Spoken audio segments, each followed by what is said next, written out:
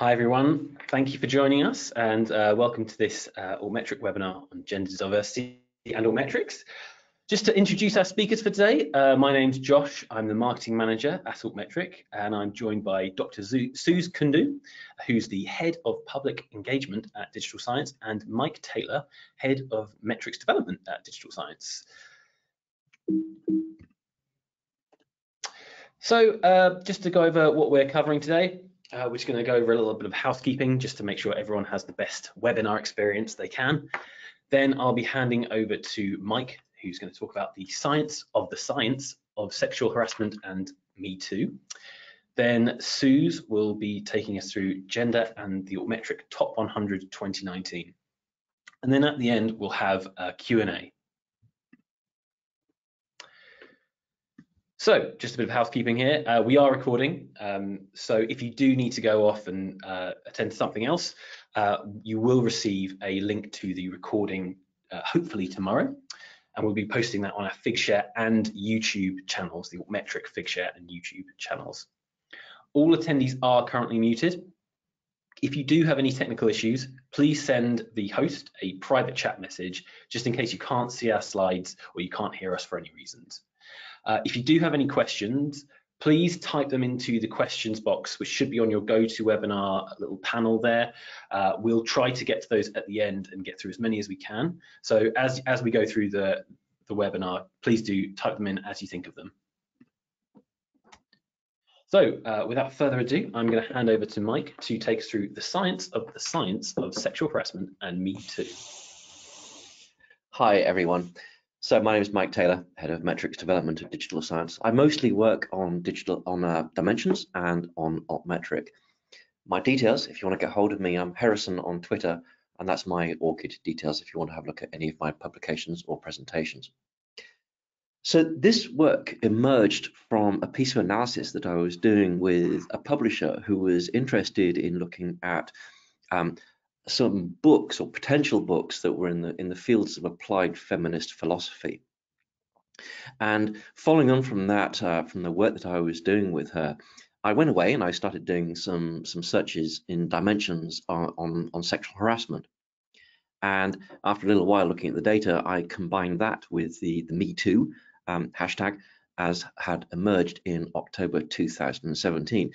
And the data that I saw was really quite extraordinary. So what I'm going to do is I'm going to talk you through some data about the, the research in, in sexual harassment and Me Too, and also looking at some Google trends. Generally speaking, my methodology in this approach is to use dimensions to search for sexual harassment or Me Too. You can do that on the free version. If you are logged in, then you can um, export those uh, search results, I think about a thousand records. And if you are a, an altmetric um, customer, then you can pass them through from Dimensions through to altmetric if you're a subscriber of both platforms. However, for the, for the purposes of today, I'm just going to be showing you those results and talking you through about some of the observations that I made.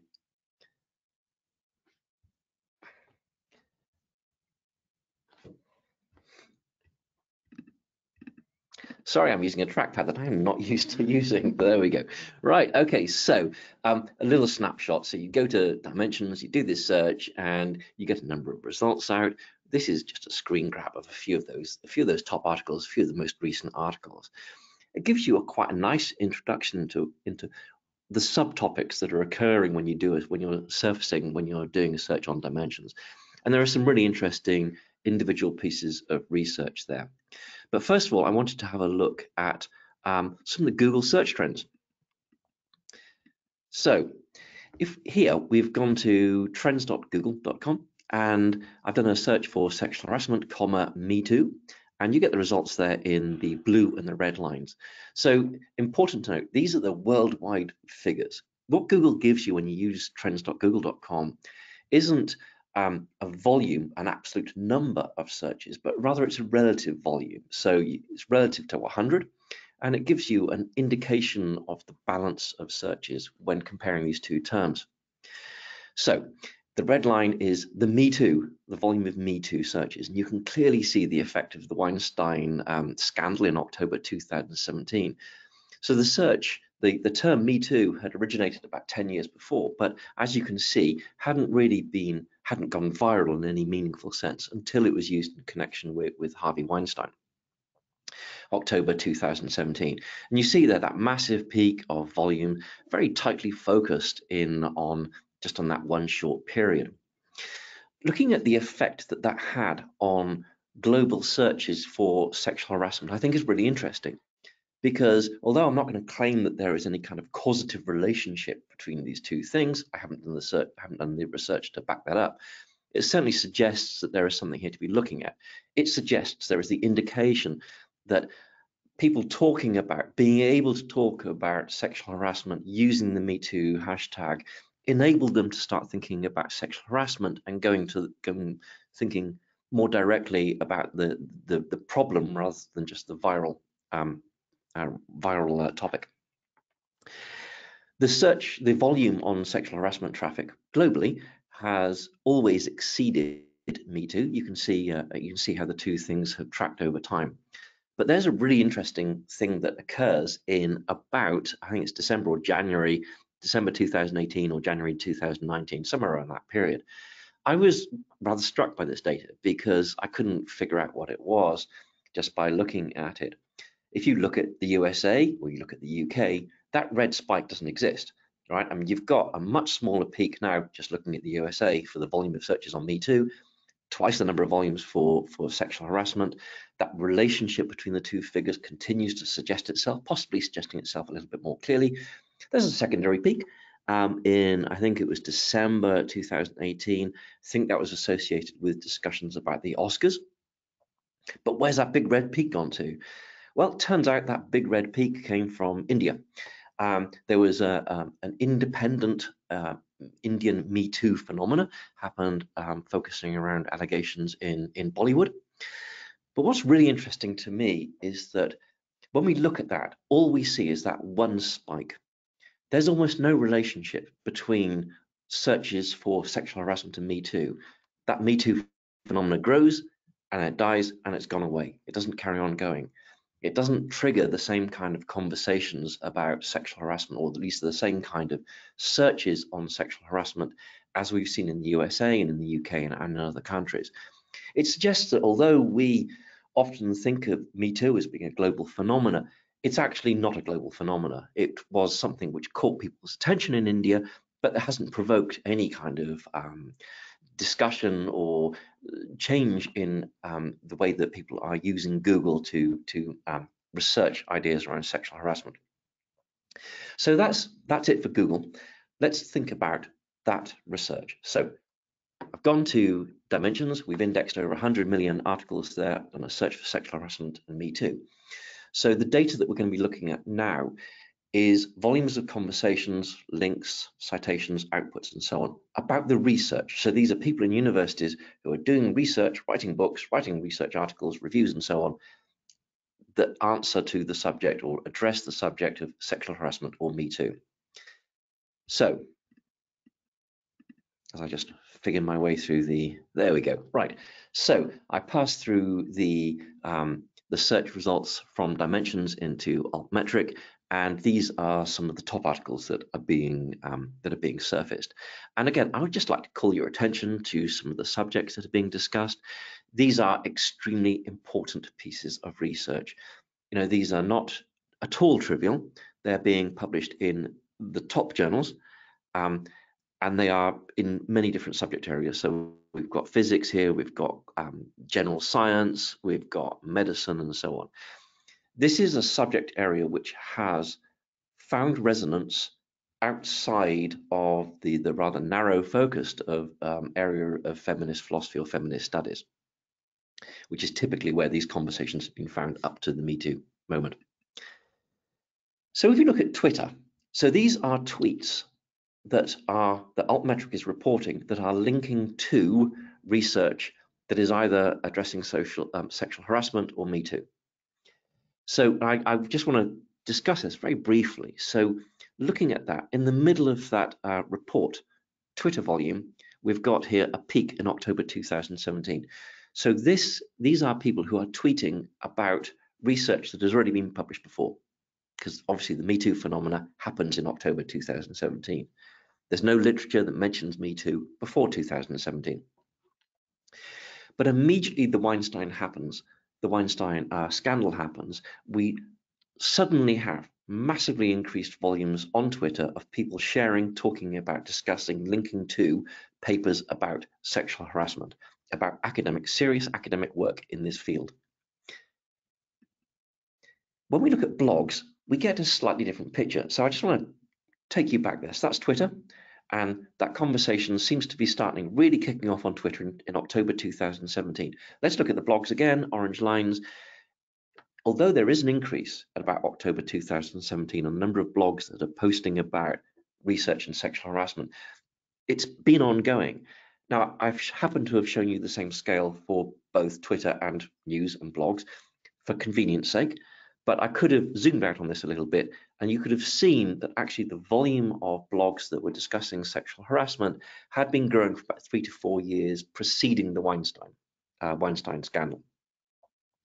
So what we've got here is evidence that actually the, the conversations, the people talking about discussing research in the area of sexual harassment has been building in the years preceding, uh, preceding uh, October 2017. And the same is also true for news to a lesser extent. You can still see the big peak in October 2017 there. Um, but proceeding, there is a reasonable volume of news stories that are covering research. So again, just to just to um, just to address this, this isn't newspaper stories about sexual harassment. These are newspaper stories that are linking to research about it. So this is very mainstream coverage of academic research in the mainstream media or in the blogs or on Twitter. So again, it's quite interesting to see there that actually this area was getting a reasonable amount of coverage already. So I want to talk a little bit about how the academic world responded to the Me Too crisis and how that's been reflected in some of the data. So we're going from altmetric, going back to dimensions. This is just a graph that I've cut and pasted. So I've gone to dimensions. You can do this free version app.dimensions.ai. Sexual harassment in quote marks or me too, you'll get the same graph. So what we see here then are a couple of interesting phenomena. First of all, the year from 2014 to 2017 shows a steady state growth. We've got a reasonable amount of growth going from about 200 articles in 2014 to something like uh, 350 articles published in 2017. And then Weinstein happens in 2017 and the response is is pretty straightforward. I mean, you can see that we have gone from there being 350 articles in 2017 to there being about 1,000 articles in 2019. You know, we often think about academia responding quite slowly to crises. Well, that's actually not true. And whenever I've done analyses like this, you can see academia responding incredibly quickly. This is a phenomenal response to a viral study. And this is, as we've seen as we've seen in some of those papers that I showed you before, this is really important academic work that's coming out. This isn't um, isn't trivial in any sense at all. Really important work. If we exclude Me Too, so if we again go to dimensions, we type sexual harassment, not Me Too. So in this case, we are getting um, search results for papers on sexual harassment that explicitly do not use the the word Me Too in either the title or the abstract we've got three different trends going on here. So preceding 2014, we've got the slow, steady state growth. Then we've got three years of slightly accelerated growth going up to 2017 when Me Too happens. And then finally, post Me Too, we have this incredibly steep um, growth in, in research. So again, you know, just to reiterate, these are not people who are discussing the Me Too phenomena in any viral, you know, in, in the virality of that particular expression they're looking at the study of sexual harassment, and that, that's that's an incontrovertible observation.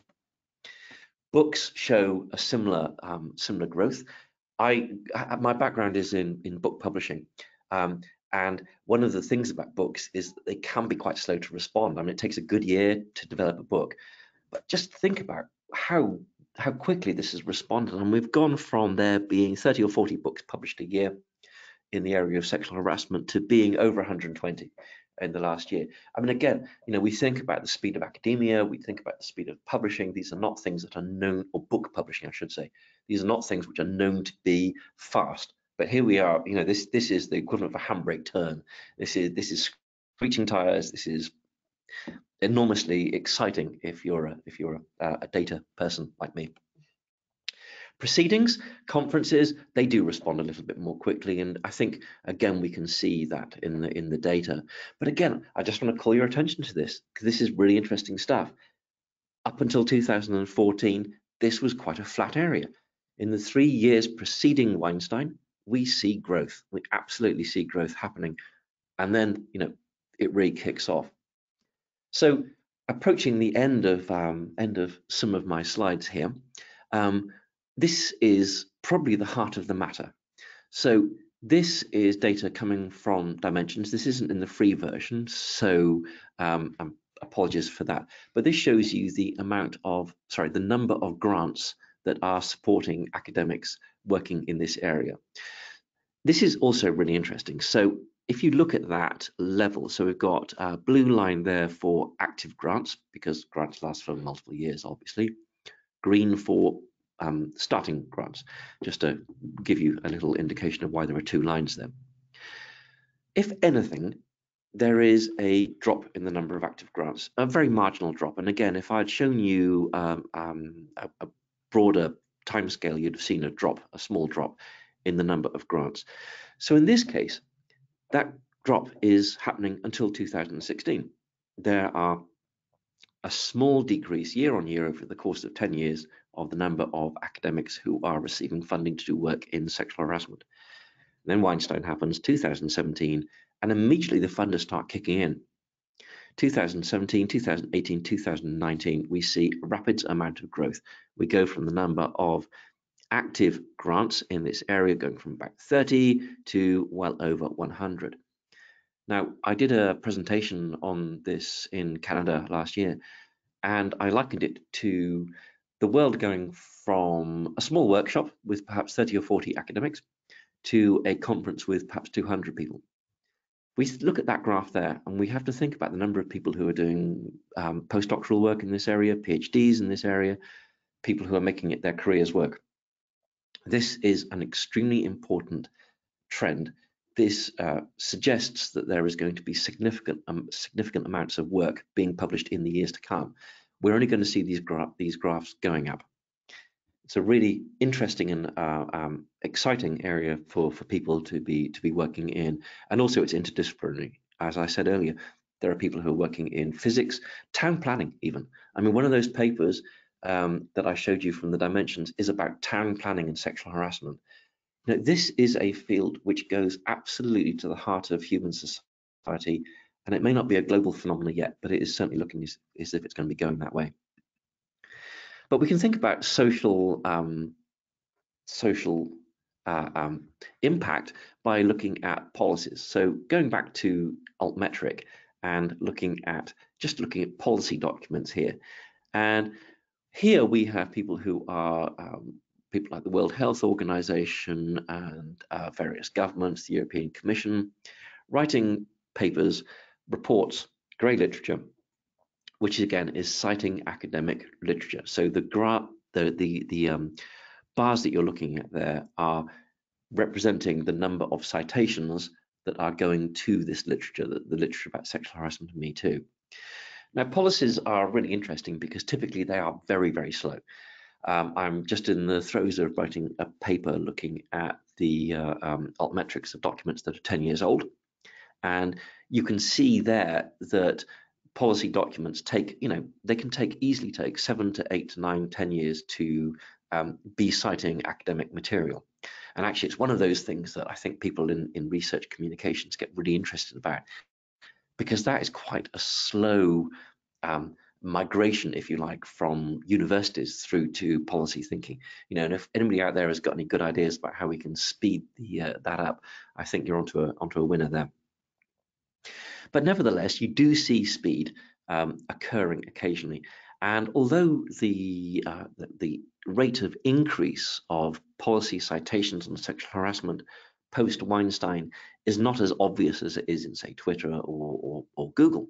Um, nevertheless, I think that uh, it would be a reasonable uh, takeaway from this graph to say that there was an increase in the number of, of bars and probably an increase in the height of those bars as well.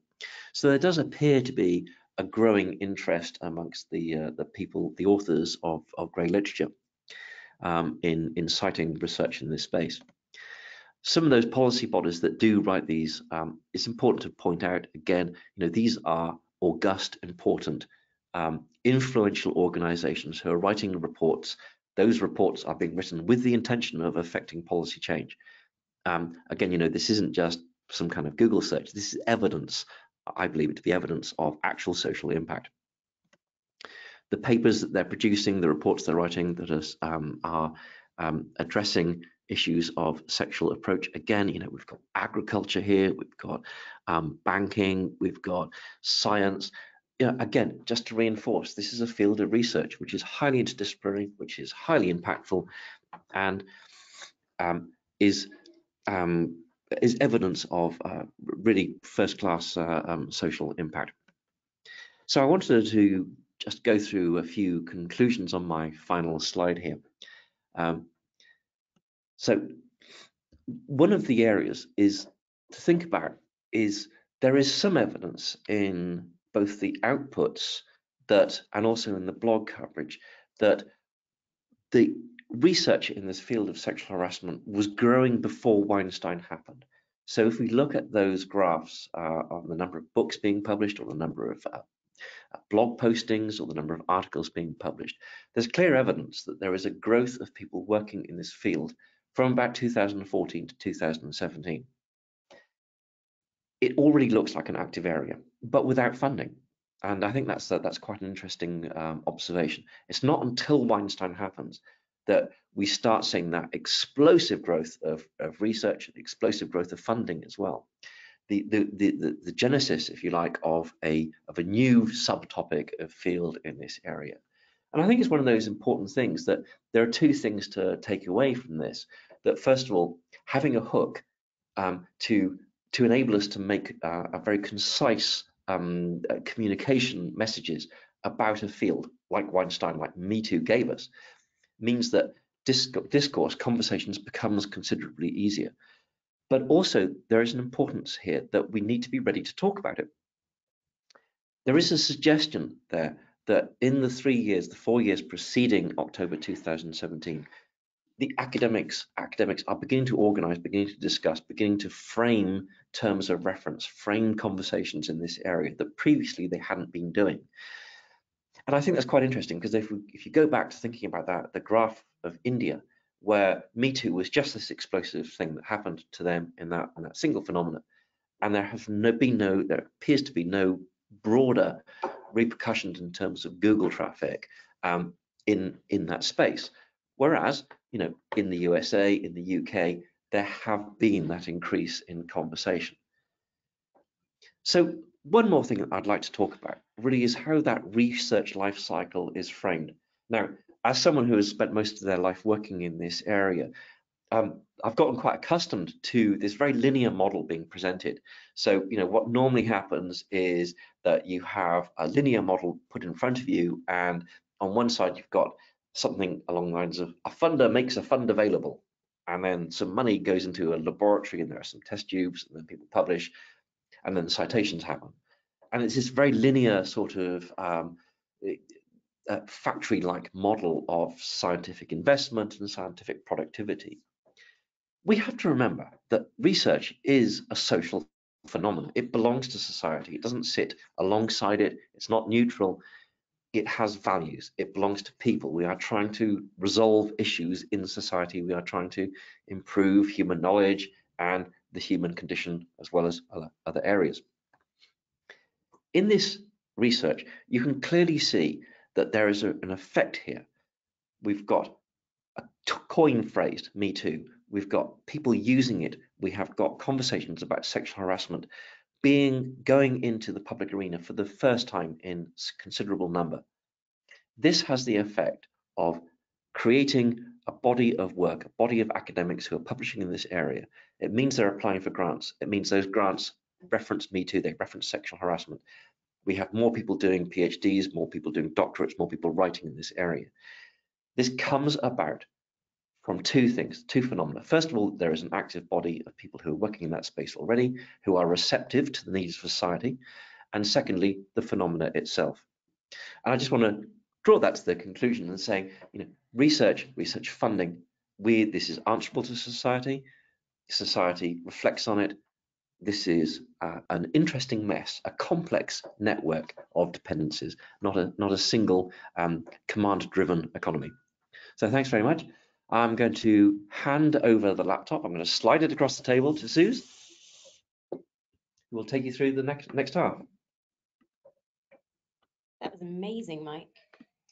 Thank you so much. I love how the science of science is is so fascinating and reveals so many trends. Uh, so, as Josh has already introduced me, hi, I'm Suze. I'm head of public engagement here at Digital Science. My Twitter handle is the ever professional at FunSizeSuze, owing to the fact that I'm a nanochemist literally and professionally, um, and that kind of stuck. Um, so if you want to chat about any of the stuff that we cover today, please do get in touch with either Mike, myself, or any of the Altmetric team. Um, so the thing that we're going to be taking you through today is a little bit of gender analysis that we have done on the Altmetric Top 100. So the Altmetric Top 100 is an annual list of research output that has received the most online attention. We have been doing this for a little while now. This is the seventh year that Altmetric have been doing a top 100. So you may have seen some of the blog posts that we've done in the past. We started to look at a bit of gender analysis around this last year. If you haven't seen it, do have a look at our blog post that we wrote up last year. We did think it would be quite an interesting thing for us to maybe start to look at the gender balance that we, we saw last year compare it to what it might be this year and see if we can kind of make any any sense of any potentially meaningful trends that, that we're witnessing as we do this. So what I'll be covering today is gender balance in the Altmetric Top 100 of 2019. I'll briefly touch on the methodology that we used to gather this analysis. I'll do a bit of a comparison between 2018 and 2019, specifically looking at some of the things that we looked at in the previous year and what any of these changes might mean. I'm then going to take a bit of a step back and kind of incorporate some of the work that Mike's been talking about in terms of why we need better representation in research, why we need to engage with a representative sample of society when we talk about research, and also some of the research culture that we're working within and any barriers to inclusion. So that's a bit of an overview of what we'll be covering. So the Altmetric Top 100, let's start off with the methodology. The bulk of this analysis has been done by Dr. Helen Draux. Um, she is the data scientist for Digital Science Consultancy. She's brilliant. She did it last year a lot of her research actually is based around looking at trends in gender and inequality in research generally. Um, she is absolutely wonderful, and you can find some of her work in some of the blog posts that we've published previously on both the Altmetric blog and on the Digital Science blog, um, and look up some of her research work as well. She's wonderful. The, the way that we have done this, again, is to take the 100 top articles that featured in the top 100 and we run them through a Python gender guesser. So it's a program that analyzes the first names of all of the authors in the top 100. So not just the first authors, but all of the authors, however many there would be on any paper. And it's run through a gender guessing tool. And so what this tool does is it looks at the name and based on previous names that it has seen that are like this or the same as this name, it will assign a gender to it. Um, the Python gender guesser that we used last year is actually different to the one that we used this year. As with all things in research, things develop, things get better. And in this case, we, we realized that there was something available that was going to produce more accurate results. So for the sake of comparing this year's results to last year's results, we have actually run last year's top 100, and by last year's I mean 2018, through the same gender guesser that we've used this year, just to make that comparison fair. Um, it's a brilliant tool uh, and we'll tell you about some of the developments that we noticed in the actual analytical package as we reveal some of the results. So we'll kick off with one of the basics, which is the overall gender balance of the altmetric top 100. So in 2018, we saw that of all of the authors in the top 100, 31.6% of them were guessed to be women based on this gender guesser package that was used. Um, interestingly, back in 2018, that was actually a higher percentage of women that were actually working within research overall. Um, so the, the number of women authors in 2018 seemed to already be higher than the number of than the percentage of women within research. Um, brilliantly, that's actually improved even more in 2019. So we've gone from 31.6% women to 36.1% of women. So again, we haven't run um, a gender guesser on all of, oh, you know, a kind of representative slice of um, the research demographic in 2019. But it's fair to say it may not have changed hugely drastically since 2018. So I think it's an encouraging trend. But it does make you wonder why this might be. Why is it that more women are featuring in the top 100? Now, this kind of can feed into some stereotypes. I know often people say, well, women are better at communicating. I mean, if I, I don't think there is any kind of gendered um, ability to communicate science. I think it's possibly the fact that women may be encouraged perhaps to do more science communication or it could be that they naturally fall towards science communication a bit more. Um, there could be many reasons for this. It could just be that a lot of people generally are starting to understand the value of public engagement and of communicating their work a little bit more. So it is an incredibly valuable part of the research cycle. I think Sir Mark Walport famously said that science isn't finished until it's communicated. Um, and that's absolutely true. So it's sort of completing the, the, whole research cycle, but it is an interesting thing to look into um, to, to, potentially find out why there are so many more women featuring in the top 100 than there are in research overall at the moment. And if that does mean that there are more women in research than there were before, then that's a pretty brilliant thing, I think. It's good to see some of those initiatives hopefully paying off. In terms of an improvement on our gender guesser, what was interesting to see was that the number of names that couldn't be identified, that had an unknown identity, had actually gone down. So this suggests that the gender guesser is becoming more accurate, but it's also probably learning from a wider range of names that it's able to identify the gender of. So these gender guessers are fed a bunch of training information. And depending on the diversity of that training information, it's fed, it can start to learn to, to understand and therefore assign different genders to, to different kinds of names.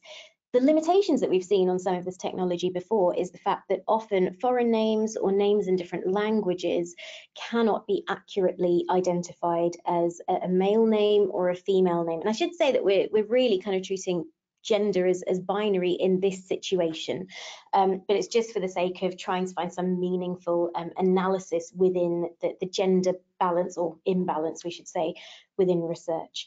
Um, so it's encouraging to see that the gender guesser has become more accurate. Fewer unknowns means that the technology that we are using to analyze this is inherently becoming more inclusive, which is kind of what we're hoping all of research will become anyway, which is an encouraging sign. If we start to look at the different teams um, that have featured in the top 100. So if we count each paper as being written by a team of people, this graph shows you how many of those teams were made up just of women. So they were um, papers that were authored exclusively by women. They were teams of mostly women, mostly men, only men, or they had a 50-50 gender balance between them. So if you focus on the women-only teams, back in 2018, there were 13% of women-only teams. Now that's actually gone down to just 4% in 2019. This isn't necessarily discouraging because we do have a, a slight increase in the number of teams that are mostly women. Um, but I think what is interesting is that it could directly be related to the kinds of topics that were covered in the top 100. So back in 2018, there were a lot of articles around health, around well-being, around medicine. And if you look at some of the previous work that we've done in this area, which I can link to later, we had a look at some of the gender balances across the different fields of research.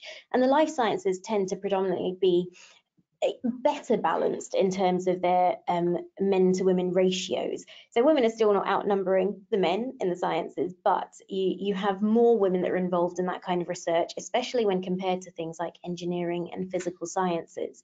Now, it could simply be that some of the fields of research that featured in the altmetric top 100 this year actually tended more towards the economic side of things when we looked at fake news when we looked at some of the election politics. Um, and it could just be because of that that there were fewer women only teams what is encouraging, however, is that if we look at the number of teams that were equally balanced in terms of men and women.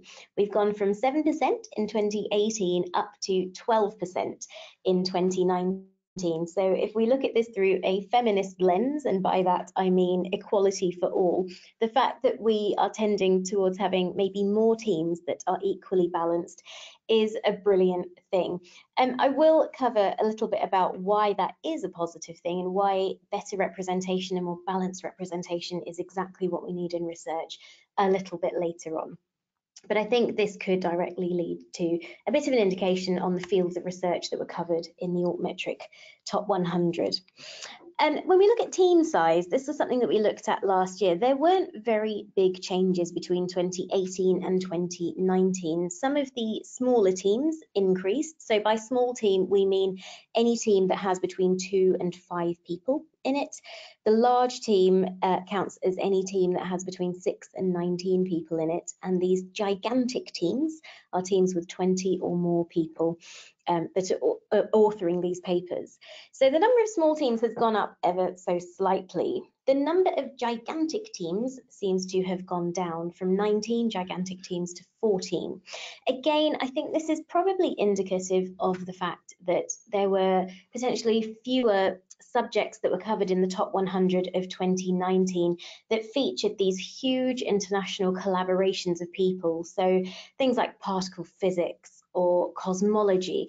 These people work in, in huge groups. I mean, some of the papers that come out of CERN, for example, have hundreds, if not thousands, of co-authors on these papers that have all contributed something useful to this research. And so these gigantic teams, again, can tend to feature in certain fields of research more than others. And I think the fact that we had quite a, a different um, focus on the top 100 of, of 2019 is probably reflected in the change in the team sizes, where we had things like the climate crisis covered. We even had the consumption of Lego covered, which uh, I, I, did enjoy that paper quite a lot. I'm not saying I took advice from it. You can make your own conclusions up about that. Um, one interesting thing was that we did have one paper that was exclusively written by a gigantic team of just men. Um, and it was about the prospective study of tea drinking temperature and the risk of esophageal cancers. Um, I I don't know. I just like the fact that there's sort of 18 or 19 people sat around working out their methodology, all having a nice cup of tea um, in Tehran, I think, of all places where they're mostly based. Um, so that was quite an interesting thing, just, just a bit of data that came out of that. Um, so when we talk about some of the gender balances in the different fields of research, I've got a little GIF that's summing up a bit of work that, again, Helene and her team did around this um, and our team covered in terms of interesting stories that come out of the data. So we've created a gender representation tool for UK research institutions. And you can dive into this. This is just freely available on our website. We'll provide some links later on. You can jump in and you can search uh, based on field of research or you can search based on UK institution and it just gives you an idea of the differences in the, the gender balance or imbalance for all the different fields of research. And it really does highlight some of those issues that we had um, in terms of engineering and physical sciences being predominantly male um, and some of the health and life sciences being a little bit more favourable for women. You can have a little read actually about some of the deeper dives we did into this and some of these trends. But the reason that I bring this up is because our tea drinking study is based around cancer research. And one of the bits of research that we did in our report, Gender Imbalance in Cancer Research Grants, looked at some of the trends um, on the number of grants that were funded and also the size of grants that were funded to see whether there was any tie to gender. And what they found was that some of the, um, first off, the number of grants that were awarded to male researchers was much higher than the number of grants awarded to women researchers. But in fact, the size of those grants was also very different as well, where male researchers were being awarded larger grants and more grants than the much smaller, fewer grants that women were being awarded. Um, so where this tea drinking esophageal cancer lies is, is an interesting one because we also found that some of the, the very big, scary, but often rarer cancers were being funded um, for men, but some of the more socially linked cancers, so things like obesity is linked to cancer or smoking is linked to cancer, they were actually being funded um, for, for by women. So there was a real imbalance even in the types of cancer grant um, that was being awarded and the, the, type of research that was being carried out. Um, so I found that quite interesting. So I'd like to see where the tea drinking um, cancer sort of falls into that. The other thing we wanted to look at um, was first authorship of the papers. Now, in 2018, the number of first authors in the top 100 that were women were 32.5%. This has gone down to 27.3% in 2019. And this is interesting depending on how you look at it, because in some fields of research and in some research groups, being a first author on a paper is a sign that you have led the bulk of that research. And so it's a real celebration of the fact that you've led that work and it it's sort of seen as as your work in that situation and, and other people helped. This isn't the case in all subjects. So when we were looking at this last year, what we discovered was that in some areas of research, for example, computer science, they're already taking one step towards equality and trying to reduce these kind of badges of honor that people wear and making research more of a collaborative effort. So they actually chose to list their authors um, alphabetically.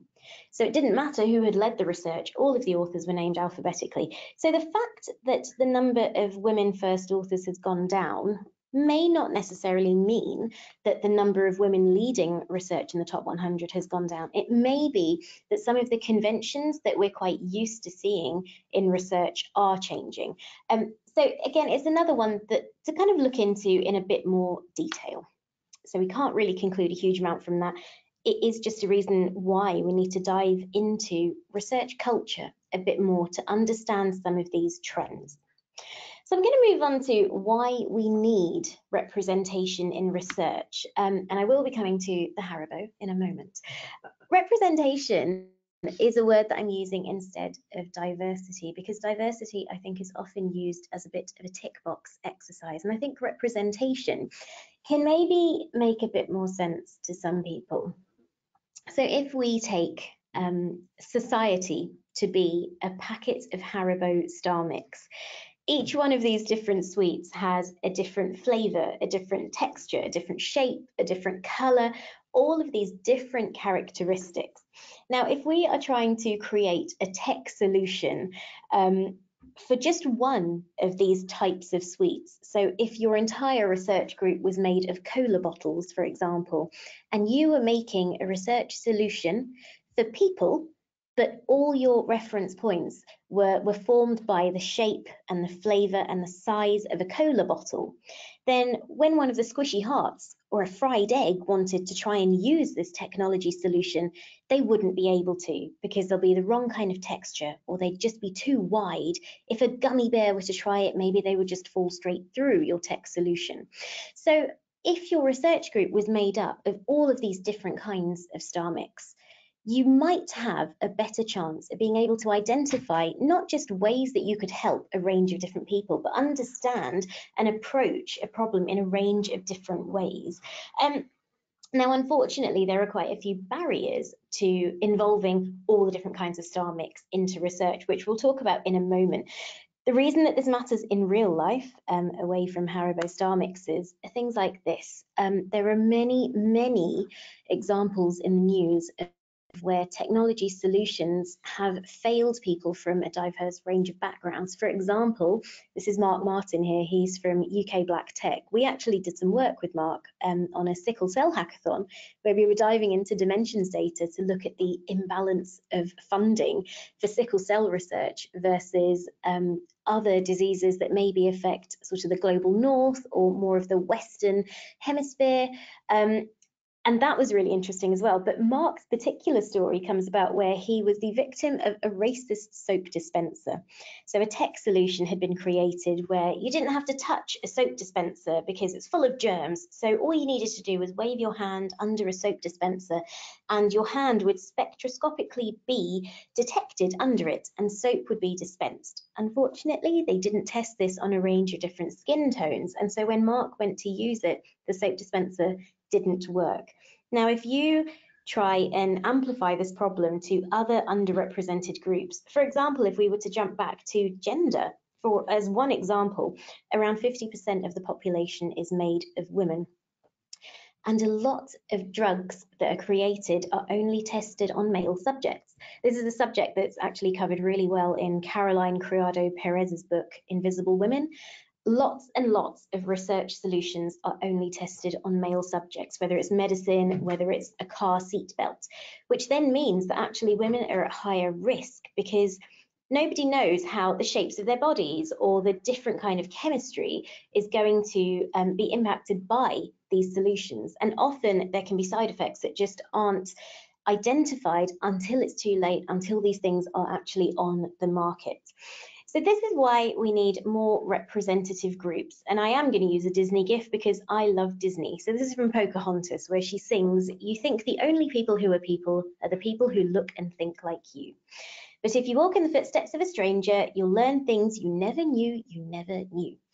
So that is really important. So we're talking about having more diverse workforces within research, but we're also talking about engaging a wider range of people with the research that's going on so that we can better understand the challenges of people this is something that digital science have been really keen on for some time. I mean, our motto is to make research more open, more inclusive, more collaborative, and more efficient. And we can only really do that by diversifying our workforce and by engaging with a wider range of people um, from the public. So we, back in 2018, we ran a panel at SpotOn London on gender, uh, on diversity beyond gender and we spoke to a range of different people um, from minorities in STEM, from Pride in STEM, from the neurodiversity um, advocacy group Quantum Leap Mentoring, and from Kevin Coutinho at UCL, who is a brilliant ED and I person um, and works for Windsor Fellows as well. This year, we were speaking to people about open access and accessing research in the global south, how we can better open research up to a range of different people so that we can make research more efficient and the best it can be. So why is it so difficult to do that? Well, there are a bunch of barriers to inclusion within research, and this could be anything from the unconscious bias of a grant funding panel to biases within peer review. There's lots and lots of things that stand in people's ways. There's also a lot of the stuff that Mike was talking about earlier in terms of the culture within research um, and things like harassment and bullying.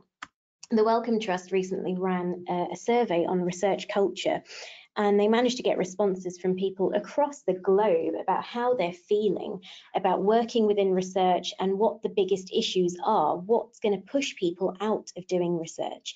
They published their report um, in, I think it was mid January, about 15th of January earlier this year. And they put a bunch of their results in this report and also um, a whole host of different figures that you can have a look at and potentially use in your own talks wherever you are, um, which they put on Figshare. So do have a look at that. But the fundamental things were there are a whole bunch of barriers in place, not just the things that make your everyday working environment a little bit harder, but literal barriers to getting involved in research and progressing within research. So digital science have, um, they're one of the four founding members of a new research institute called the Research on Research Institute, or RORI. We're working with the Wellcome Trust, we're working with the University of Sheffield, and we're working with the University of Leiden, CWTS, to look at a lot of the work that Mike's been um, touching on in, in his presentation. So the scientometrics is the research on research. We're looking at how effective research is, how efficient it is, and if it's not being as efficient or as productive as it could be, then identifying where the barriers are to making it so. And we are looking at things like culture and decision making and, and how to make research more open, more diverse, and more inclusive for the benefit of all, because effectively that is what research is about. It's supposed to help all of mankind, humankind, I should say. Um, so this is kind of what we're about. We're trying to smash those barriers to inclusion, just like Hulk smashes everything in his path. Um, hopefully, by talking about some of the work that we've been doing, we're able to give you an example of how you can use evidence for these inequalities um, and hopefully some encouraging stats that might help you make cases, whether that is within your own institution, whether it is with your own learned society. We need everybody to make small changes towards positivity. It's not just the job of those people in those underrepresented groups to fight for that, it's everyone's it's, it's to everyone's benefit to make research the best it can be. Um, so that's all from me. If you want to chat about this or anything else, do get in touch. There's my Twitter handle, there's Digital Sciences Twitter handle, and I'm going to hand over to Josh now um, to field any questions you may have. Thank you so much. Okay, thanks so much, Susan, Mike. Those are really great uh, presentations. They're really some really insightful stuff. Right, let's see if we've got any questions. Questions about. Ah, yes, we have a couple.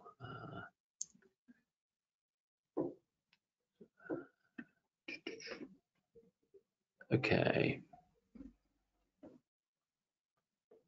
Okay, you mentioned earlier that the number of author names the gender tool was unable to identify in the top 100 Altmetric list has decreased. Is it possible that this is due to a decrease in non-Western names, which are traditionally less recognized by automated gender algorithms? And that comes from Eleanor Rose Papas. Um, good question, Eleanor. What we noticed when we did our, so the GIF that I, I briefly showed you, which is the visualization tool um, that we created, when we did the bulk of this work last year, um, early last year, we did find when we manually delved into a lot of the data, there was, as you went from arts and humanities towards STEM, you actually had more unknown names. Um, so there were fewer unknowns in the arts and humanities, but there were much more in science, technology, engineering, and maths delving in manually, we could see that there was more ethnic diversity within STEM. Um, I certainly hope that we haven't lost a whole bunch of those people um, in the last year, and certainly of the people that, whose research we're talking about. It is entirely possible that the demographics, the kind of ethnic um, demographics, might be quite different this year. We haven't looked into it manually, but um, when we were looking at the Python gender guesser, it does seem to be more inclusive of non-Western names now. And I think it's all down to the training data that these things are being fed, uh, which is why we need, I think, to, to always work to make things like machine learning and AI as um, inclusive as possible so that they can be as useful as possible. Yeah. Thanks. Thanks, Suze. Thanks very much for the question, Eleanor. Uh, just give a few seconds for anyone else to ask any questions. Just pop them in the questions box if you do have any questions. Okay, I think that's it. Um, okay, just to wrap up, uh, if you would, uh, if you if you'd like to find out more about altmetrics or altmetric data and the use of altmetric of altmetrics and and and the altmetric tools and data that we provide. You can find out more on our social channels. Uh, we've got a youtube channel here with, with uh, lots of great short shorter videos and uh, recordings of previous webinars we've done which are uh, around Altmetrics data and their uses. So you can find those all on YouTube and do follow us on our social channels. We're on Twitter, LinkedIn, Facebook and Instagram. And if you do, if you would like to just ask us a question or uh, you want to find out more about our products or um, and our data, do email our team at info at altmetric.com and we'll try to get back to you as soon as possible. Okay, well, thank you very much for joining us. Um, like I say, we'll try to get a recording of this out uh, in the next uh, day or so. Um, and uh, yeah, thanks again. Um, that's all from us. Thank you so much, you. Josh. Thanks Thanks, for Josh. taking part, everyone. Bye.